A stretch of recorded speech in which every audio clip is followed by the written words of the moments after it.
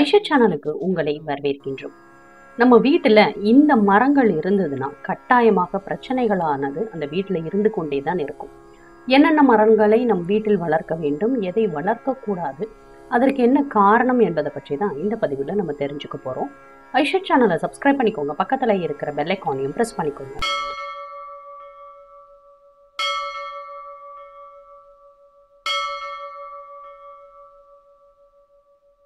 Aisha channel அன்பர்களுக்கு அன்பான வணக்கங்கள்.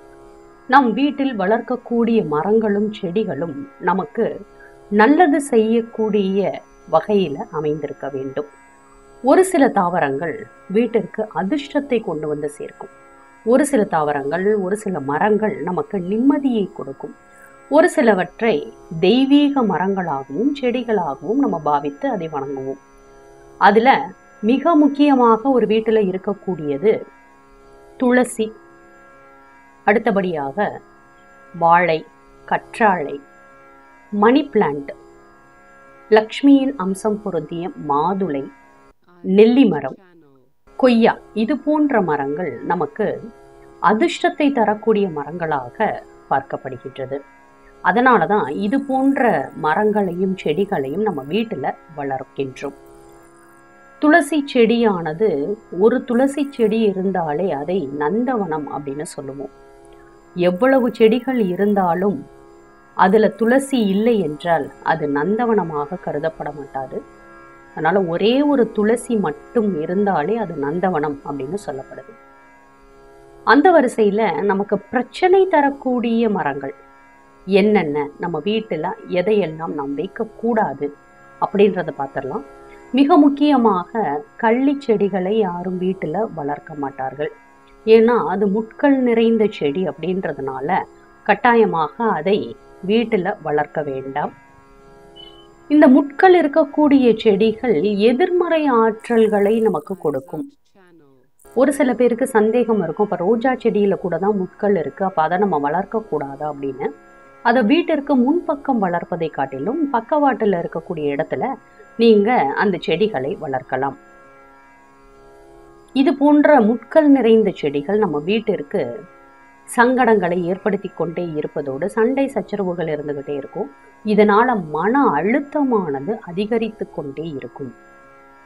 இதே வரிசையில தான் எலுமிச்சை மரத்தையும் நம்ம சொல்லுவோம். ஏன்னா எலுமிச்சையில அதிகப்படியான முட்கள் நிறைந்திருக்கும்.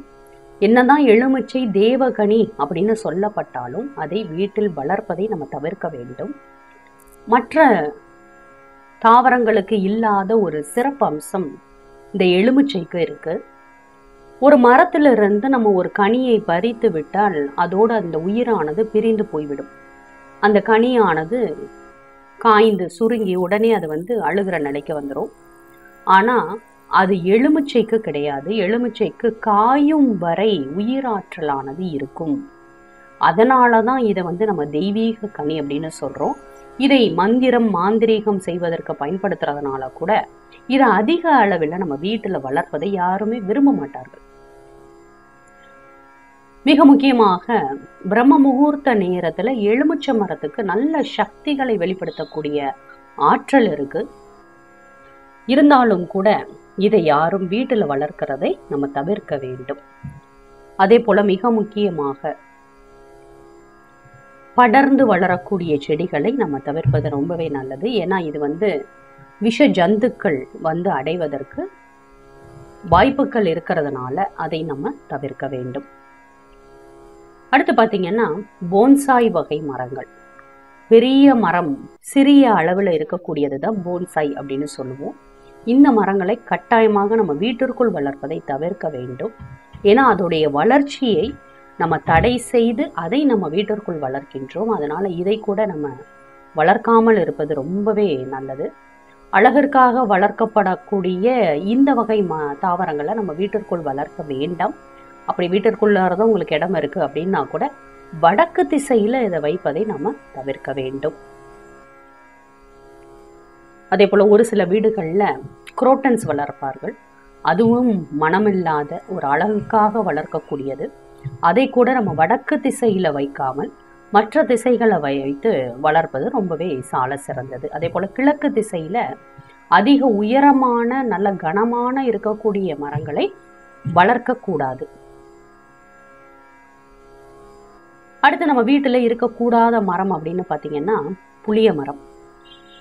இந்த புளிய மரத்திற்கு எதிர்மறை ஆற்றலை வெளிப்படுத்தக்கூடிய தன்மை அதிகமாக இருக்கிறதுனால கட்டாயமாக ஒரு வீட்டில் புளிய மரத்தை நம்ம வைக்க வேண்டாம்.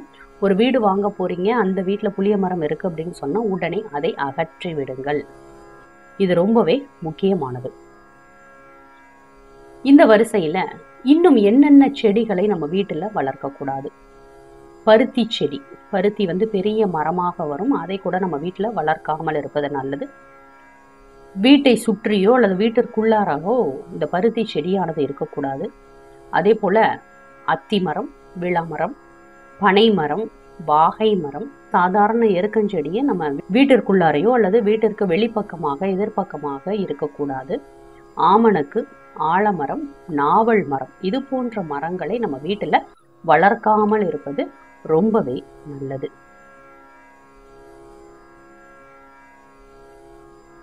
மிக முக்கியமாக நிலத்தடி நீரை அதிகமாக எடுக்கக்கூடிய கருவேல மரத்தையும் நம்ம உடனே அகற்றி விடுவது நல்லது. அதே போல் வீட்டில் அரச மரத்தையும் வளர்க்க வேண்டாம். ஏன்னா அதோடைய வேர்கள் வந்து ரொம்பவே படர்ந்து ஓடும். அதனால் அது அஸ்திவாரம் போன்ற பிரச்சனைகள் வரும். அந்த வேர்கள் வந்து அஸ்திவாரம் அப்படியே தகர்த்தி விடும். அதனால தான் அரச மரத்தை யாருமே வீட்டில் வைப்பது இல்லை. அதனால இது போன்ற மரங்களை நம்ம வீட்டில் வளர்க்காமல் இருந்தால் ரொம்பவே நல்லது. இதனால நம்ம வீட்டில் சண்டை சச்சரவுகளோ மனக்குழப்பங்களோ மன கஷ்டங்களோ உடல் உபாதைகளோ இல்லாமல் இருக்கும். அப்ப என்ன செடிகளை வளர்க்கலாம்? மன நிம்மதியை கொடுக்கக்கூடிய செடிகள் பார்த்தோனையுமே பசுமையாக இருக்கக்கூடிய செடிகள் அது நமக்கு சந்தோஷத்தை தரக்கூடிய செடிகளாக இருப்பது ரொம்பவே நல்லது. அதுல மிக முக்கியமாக நம்ம பார்க்கக்கூடியது வாழை மரம் பலாமரம் வேப்ப மரம் தென்னை மரம் முருங்கை மரம் கொய்யா மரம் ஆப்பிள் மரம் மாமரம் மற்றும் கடம்பம் மகிழ மரம் இது போன்ற மரங்களை கூட நம்ம வீட்டில் வளர்க்கலாம்.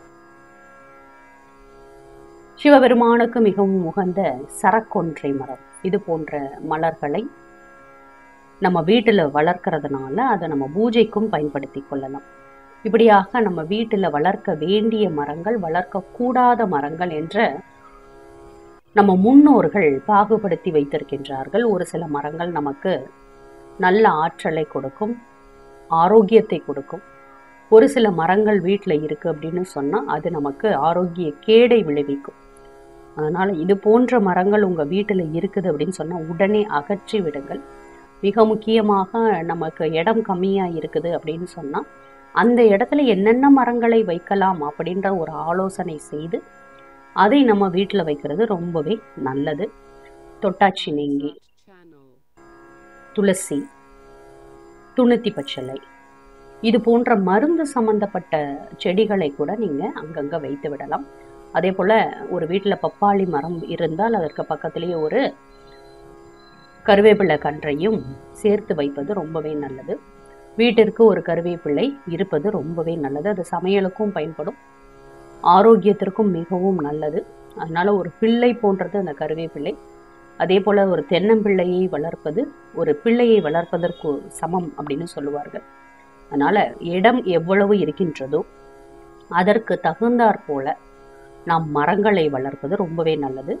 வீட்டிற்கு முன்பக்கமாக வேப்ப மரமும் புங்கை மரமும் இருப்பது ரொம்பவே நல்லது. ஏன்னா அது வீட்டிற்கு நிழல் கொடுக்கும். அதே போல் அதிலிருந்து வெளிப்படக்கூடிய காற்றானது நம்ம உடலிற்கு ஆரோக்கியத்தை கொடுக்கும். அதனால் புங்கை மரம் நிழலை கொடுக்கக்கூடியது வீட்டிற்கு முன்பக்கம் இருக்கலாம். அதே போல் வீட்டிற்கு முன்பக்கமாக அம்மனின் அருள் பெற்ற அம்மனின் வடிவமான வேப்ப மரம் இருப்பது இன்னும் கூடுதலான சிறப்பு. அதனால் இது போன்ற மரங்களை வளர்த்து ஆரோக்கியமாக வாழ்வோம். மேலும் இது போன்ற தகவல் அறிய ஐஷா சேனலை சப்ஸ்கிரைப் பண்ணுங்கள் ஷேர் பண்ணுங்கள் உங்களுடைய கருத்துக்களை எங்களுக்கு பதிவு பண்ணுங்கள் நன்றி வணக்கம்.